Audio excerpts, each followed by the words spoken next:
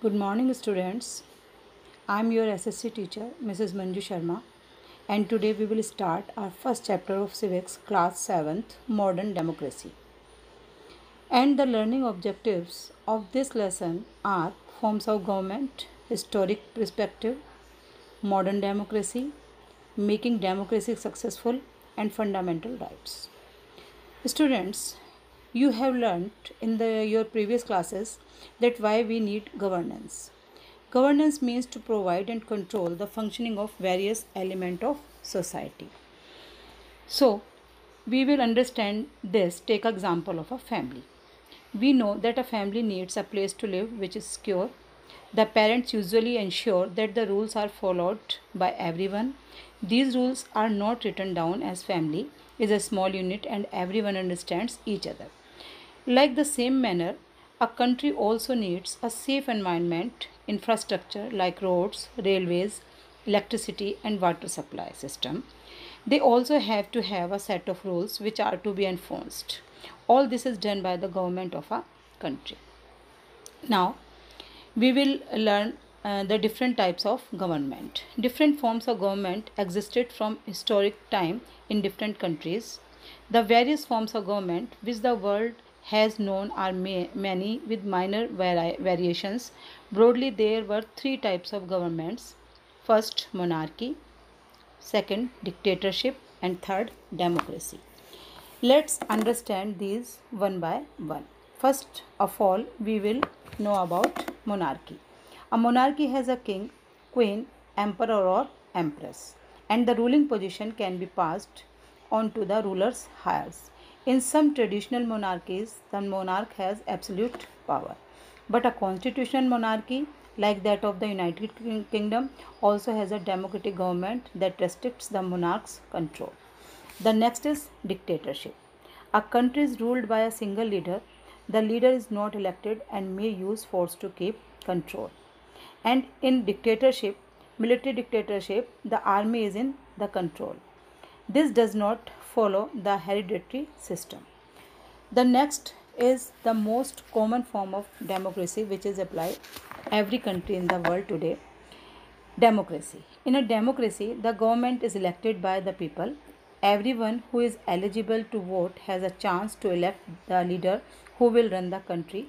It is distinct from government controlled by a particular social class or group or by a single person like a monarch or a dictator now we will learn the historic perspective of democracy.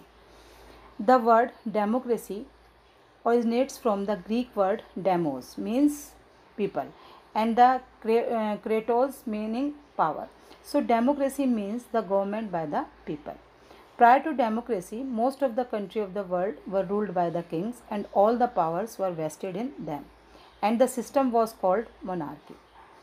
But in the concept of democracy, can be traced to ancient Greece, where people used to get together at one place to exercise their power directly in deciding matters of state. It was called a direct democracy. This type of democracy was possible in those days as the states used to be very small, but with the gradual increase of the size and population of the political units, it became impossible to arrange for large number of people to assemble at one place to discuss matters concerning them it was at this time that the concept of representative democracy. Now we will uh, study why it is popular in most part of the world and later in the next chapter deliberate and understand the procedure of the forming of government in a democracy. Now we will know about modern democracy. Democracy is one system of the government which has become the most popular all over the world and revolutions took place all over the world to establish this system. In a democracy, it commonly said ballots substitute the bullet because it is the system where people can change the ruling power by means of voting out of government. Normally, every person who is an adult citizen of a country has the right to vote. This is known as one man, one vote, and one uh, value are, is also called universal adult franchise. This form of government is called democracy. Now, we will know how the representative elected. In democracy, representatives elected by the people makes laws, and frame policies of the government. All adult citizens have the right to participate vote in the election. The people have the right to remove the government from power in the next election if they are not satisfied it, with its performance. The next is rule of law, which is very important. Another characteristics of democracy is that it ensures rule of law. Law is uh, supreme and everyone is equal in the eyes of the law. No one is above the law. Social democracy. It means that all men and women should be treated equally and should have equal opportunities for development. Next is economic democracy. It means that all members should enjoy the freedom from exploitation of any kind in terms of economic aspects. Now the question is how the democracy make successful. There are some essential conditions which make the democracy successful. These are as follows. Democracy will be strong if people are educated and aware of their rights and duties. They should be disciplined and obey the law. The people should take interest in the formation of the government. The people should keep themselves informed about the policies of the government. They should formulate opinion if they feel that the policies are not fair. They should be aware of their rights to questions of the government but not take law into their own hands. It means the citizen of a country must be aware about their duties and their rights and formation of the government. The main feature of a democracy is fundamental right. In India, our constitution provides us some fundamental rights. These rights allow people to grow and prosper in an environment of freedom, equality and justice. The Indian constitution provides the citizen the following fundamental rights right to equality, right to freedom, right against exploitation, right to freedom of religion, cultural and educational rights, right to constitutional remedies. A very important element of democracy in India is the aspect of equality. Indian constitution caters to give equal status to all its nationals. Equality amongst the citizen is provided in different ways. Let us see some details of this equality.